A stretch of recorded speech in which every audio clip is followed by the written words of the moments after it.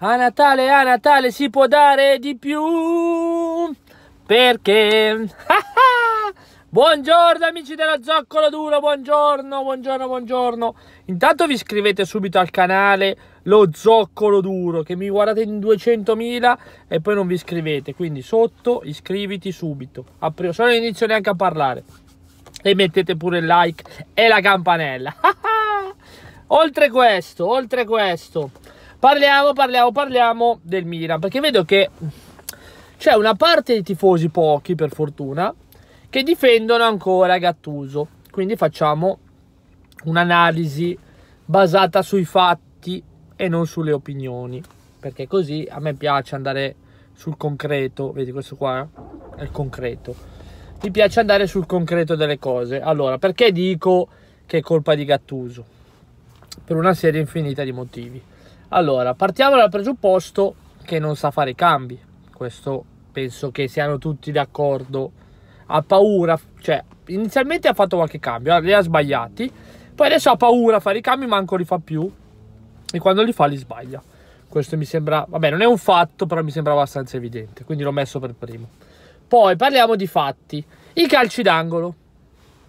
Siamo tutti d'accordo che noi non sappiamo battere i calci d'angolo. Questo, vabbè, è un problema che ci portiamo anche di quando eravamo la squadra più forte del mondo però non sappiamo battere i calci d'angoli. L'Atalanta fa 10 angoli, 4 gol, noi facciamo 18 angoli, non che non facciamo gol, nemmeno la prendiamo di testa.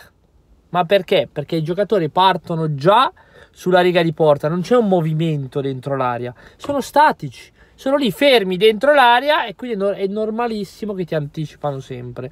Tra l'altro, appena è arrivato Gattuso, io me lo ricordo, appena è arrivato, ha iniziato a fare quegli angoli che li batteva corti e poi li metteva in mezzo.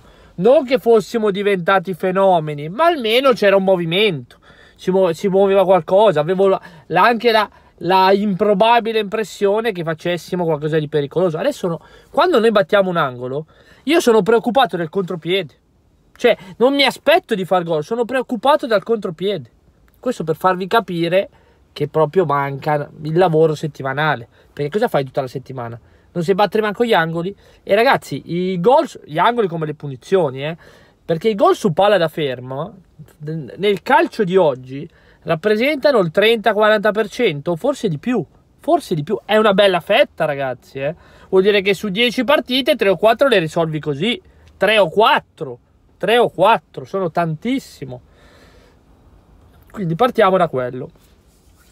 Parliamo del gioco difensivo di Gattuso.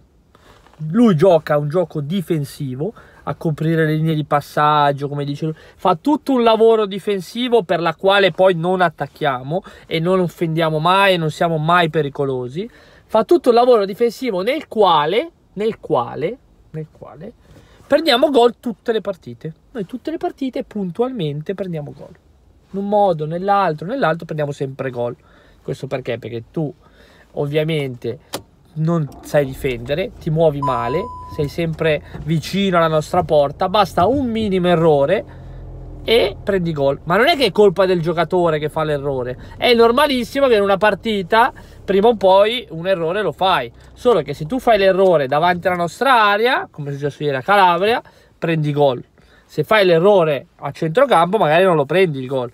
E quindi anche la fase difensiva un disastro. La fase offensiva non segniamo da un mese e quelle volte che abbiamo fatto gol quasi casuale. Il capocannoniere tra un po' è Romagnoli, quindi mi fa capire quanto siamo un disastro anche. Tra l'altro, gol di Romagnoli non, nemmeno su calcio da fermo, cioè che lui è preso, è andato, è partito, è andato su alla disperata. Alla disperata. Questo ti fa capire, ragazzi, che manca proprio un'impronta di gioco. Io gli voglio bene a Gattuso, non è che ce l'ho con lui, cioè non mi va di scrivere Gattuso vattene, però gli dico, Gattuso, siccome sei un fratello rossonero, devi renderti conto che probabilmente, te lo auguro, diventerai un grandissimo allenatore. Ma oggi hai troppo da imparare e non puoi imparare al Milan. Al Milan devono arrivare allenatori già pronti, già pronti. Non puoi fare scuola, l'accademia dell'allenatore al Milan. Eh, ragazzi, è così. Vai come ha fatto il buon Pippo, vai a Bologna, vai a Venezia, vai, ti vai a fare un po' di gavetta, impari, che ancora ce ha da imparare pure Pippo, impari, Quando diventi un, e se diventi un grande allenatore, allora torni al Milan, ma non adesso. Ti bruci tu, bruci la squadra. Poi oh, noi non abbiamo un allenatore da, da Allegri, da Allegri che non abbiamo un allenatore. Tutti ex giocatori, Sedorf, Inzaghi, Gattuso, quell'altro deficiente di Montella. Oh, ma noi prendiamo un allenatore, un allenatore. A me questo Wenger, gira il nome di Wenger, non è che mi piaccia Wenger, non ha mai vinto niente in carriera, 200 anni all'Arsenal, non ha mai vinto niente. Poi non conosce il calcio italiano, gioca non lo so, a me non è che piace. Piuttosto facciamo venire l'eletto, che è un altro ex giocatore, pure lui. Infatti, sinceramente, non voglio nemmeno. L'eletto è Donadoni. Eh. Sinceramente, non vorrei nemmeno Donadoni. Nemmeno lui vorrei. Ma un allenatore, ragazzi. Ma un Maran qualunque. Un, cioè, un allenatore di calcio. Semplice, semplice. Che fa le cose semplici. Tanto quarti ci arriviamo. Ah, a proposito quelli che mi dicono no, il problema è la squadra, gli infortuni, gli infortuni. Allora, gli infortuni sicuramente sono un problema, e quello va bene. E infatti non siamo secondi, terzi, perché sennò saremmo lì senza infortuni. Beh, secondi forse no, ma terzi sì. Siamo quinti, ok?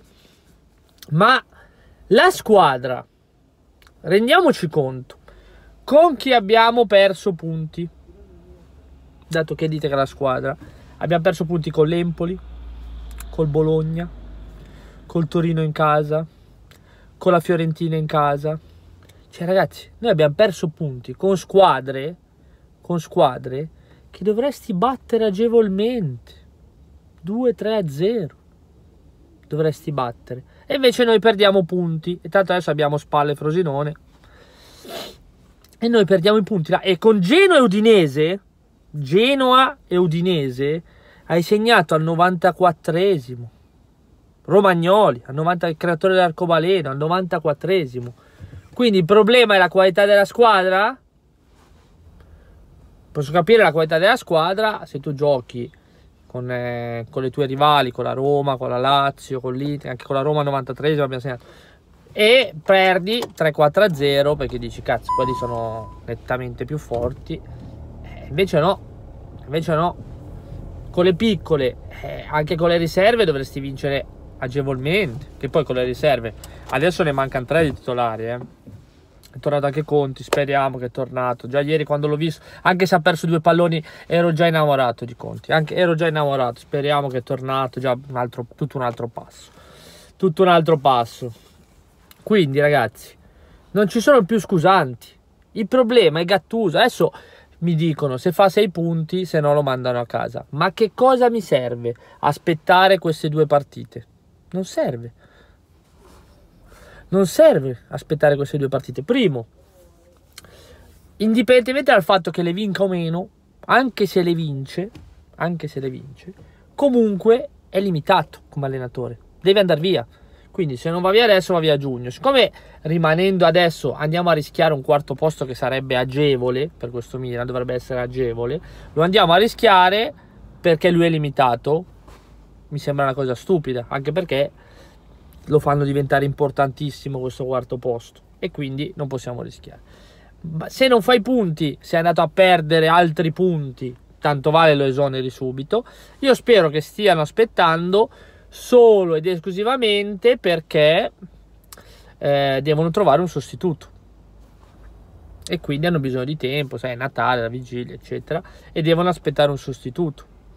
Ma anche lì, società, non è da oggi che scopri che Gattuso è limitato, ormai hai avuto un percorso.